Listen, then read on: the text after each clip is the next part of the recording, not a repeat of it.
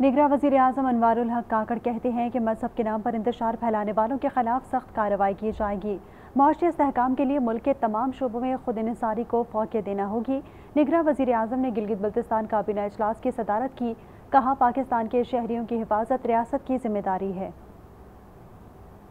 निगरा वज़ीर अजम अनवर काकड़ कहते हैं कि मज़हब के नाम पर इंतज़ार फैलाने वालों के खिलाफ सख्त कार्रवाई की जाएगी। माशी इसकाम के लिए मुल्क के तमाम शोबों में खुद इनसारी को फौके देना होगी। निगरा वजी अजम ने गिलगित बल्तिस्तान काबीना अजलास की सदारत की, कहा पाकिस्तान के शहरीों की हिफाजत रियासत की ज़िम्मेदारी है।